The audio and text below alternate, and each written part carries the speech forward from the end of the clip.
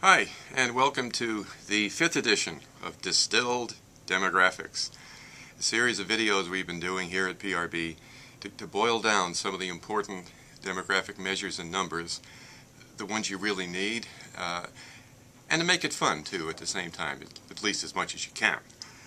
Uh, in the past uh, few videos, we talked about births and deaths and the way they affect a population, one increasing it and uh, one decreasing it.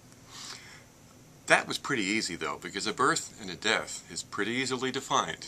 Uh, now, they are not always counted uh, completely. In fact, in many developed countries they aren't. But at least a birth and death is something we, we know what it is. Immigration is a whole different thing. Immigration statistics are kind of a minefield uh, in, in the world of demography, and pretty soon we'll see why. But first, let's see how the whole thing works together, births, deaths, and migration. We'll use the example of Sweden, a country with very good statistics. According to Statistics Sweden, at the end of 2008, the population was 9,256,347. At the end of 2009, it was 9,340,682. So, Sweden grew, simple math, 84,335 in 2009. Now, there are two other things we know. Uh, births and deaths are completely registered in Sweden, at least we're pretty sure they are. And the number of births in 2009 was 111,801.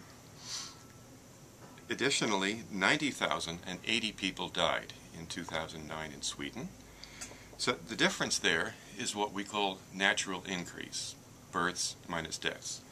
21,721 is the number by which births exceeded deaths.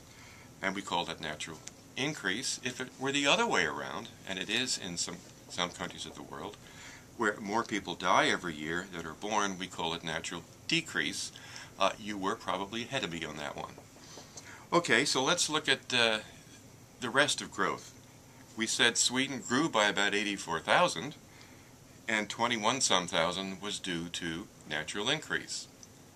So there's a third culprit in there somewhere, and of course, that's migration. Uh, during 2009, there were 102,280 immigrants who came to Sweden to live. 39,240 people left to go live someplace else. So that gives us a net migration of 63,040. So Sweden grew by 84,000 some, natural increase was 21, 721, and uh, net migration was 63,040. Now, for those of you who've been lightning fast with your calculators and out ahead of us, you might notice that those things don't quite add up. They miss by about 426, which is actually pretty good going. And, uh, but it does serve to illustrate that even a country with really good statistics, things might not quite add. So now we've seen how population grows in, in Sweden. Uh, another way to measure the effect of migration on a country is the net immigration per 1,000. By the way, I was had drilled into me in graduate school, there's no such thing as a net migrant. We only say net migration. Bit of jargon for you there. So let's see how did, but, but let's see how it affected Sweden.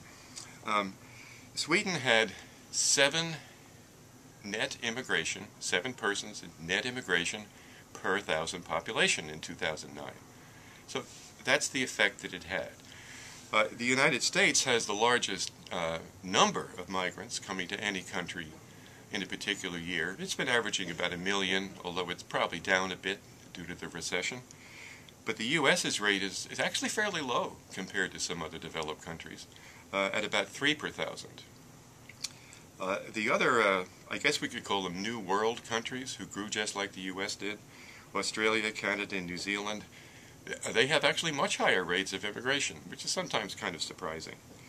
Uh, we can also look at the other side of the coin, countries that have uh, negative net immigration or more people leaving than, than coming in. Mexico, it's about minus 5 per thousand. And some of the Baltic states, like Lithuania, um, has about the same, about minus 5. Uh, and often migration can have a very, very big impact on island nations. So look, for example, at Micronesia, Federated States of Micronesia, minus 15 per thousand. So now let's go on. We'll enter the minefield and talk about what exactly is an immigrant. Okay, so into the minefield of definitions. What's an immigrant? Well, you know, we all think we know what an immigrant is. Isn't that obvious? It's someone who moves here to into your country or mine to, to take up residence, to live there, to take up a usual residence. Uh, but it's not quite so simple, especially when we try to look these things up in statistics. Uh, for example, uh, in the U.S., our Yearbook of Immigration Statistics says that there were 1.1 million uh, immigrants who came to the U.S. during fiscal year 2009. But there's a fly in the ointment, a pretty big one. Two-thirds of those people had actually been living in the U.S. for a number of years, some many, many years. It's just that's the year in which they were granted permanent residence. Uh, and that's actually not an unusual definition. For example, in Spain, uh, an immigrant who's someone who signs up on the population register. Uh, we don't have that in the U.S., but a population register uh, keeps track of your whereabouts, where you live, you know, kind of like a national ID system. So you could have been living in the country, but until you either get a green card in the U.S. or you sign up on the register in Spain, and there's many other examples, you're not you're not really an immigrant. And certainly one of the one of the rather interesting aspects of demography is studying the effect of immigration on any population. Uh, one of the ways it can be done uh, is many countries have a question on censuses or surveys on place of birth. So we can study uh, the number of foreign-born people uh, in a uh, country at any time. Uh, an advantage to foreign-born is it's an unchanging characteristic. You know, once you were born in France, you're always born in France sometimes the uh, other definitions, such as, oh, population of foreign stock or foreigners can change. Uh, if you gain citizenship, if you marry a native, you may no longer be counted in statistics uh, as a foreigner, but foreign-born doesn't change. So here we'll just look at three countries, two in Europe and the U.S., and we see that in Ireland, that the percent foreign-born from the early 90s jumped from 6 to 17 percent. Quite a difference uh, in Spain from 2 to 14. Uh, in the U.S., which is, after all, the U.S. is the world's first melting pot, that uh, it jumped, however, from uh, 8 to 13 percent. So there's been a real increase in that. Uh, a lot of the media, however, attention seems to be oftentimes on, you know, the changes in tremendous change in society due to immigration. But much of this immigration to countries of Europe may simply be from other countries of Europe. So we can look at a little more closely now the foreign-born population in Spain. Uh, in the early 90s, notice that the European-born population and the non-European-born were about equal. Uh, by 2009, both of those had risen, and there was a much larger percentage uh, of people living in Spain who were not born in Europe, uh, as there were, say, some 20 years earlier. So the composition of the foreign-born or immigrant population uh, can certainly change. Why do people migrate? Um, in demography, there's this, this, kind of overall theory, I guess you could call it, of push-pull. That certain people are like pushed out of the country in which they live and attracted or pulled to another. Uh, probably one of the most common examples of push would be some type of political persecution. Uh, refugees uh, certainly have left the countries in which they're being persecuted and have been put up uh, many times in other countries, especially in developed countries. A pull factor? Pull factor is, quite simply, higher income. And also the ability then to send money back home, as remittances back home are very important for many developing countries.